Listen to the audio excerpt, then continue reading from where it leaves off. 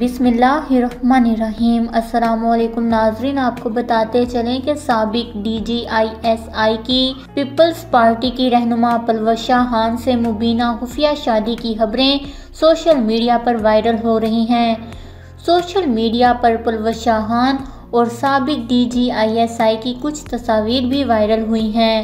جی ہاں ناظرین، تفصیلات کے مطابق سوشل میڈیا پر وائرل ہونے والی اطلاعات کے مطابق سابق D G I S I کی مبینہ بیوی پلوشا خان کے مطابق ان کا پانچ سال پہلے ظہیر الاسلام سے نکاح ہوا، جس سے ان کا ایک بیٹا بھی ہے۔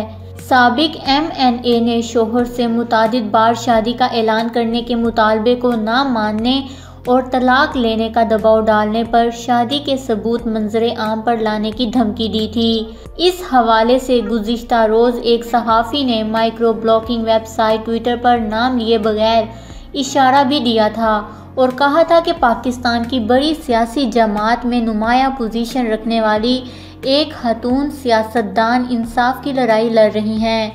وہ اپنے حامد جو کہ ایک طاقتور ترین ریٹائرڈ جنرل ہیں اور جس نے انہیں خاموش رہنے کے لیے جان سے مارنے کی دھمکی دی ہے کے خلاف جلد ہی عدالت کا دروازہ کھٹکھٹانے والی ہیں۔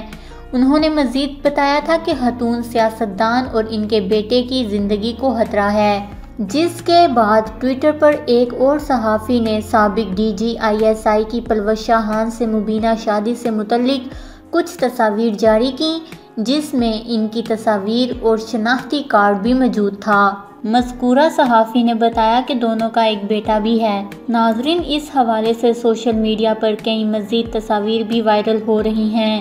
اس خبر کو لے کر اپنے قیمتی رائے کا اظہار نیچے کمنٹس میں ضرور کریے گا۔ ہمارے چینل کو سبسکرائب کریں، آپ کو لیٹسٹ اپڈیٹس ملتی رہیں گی۔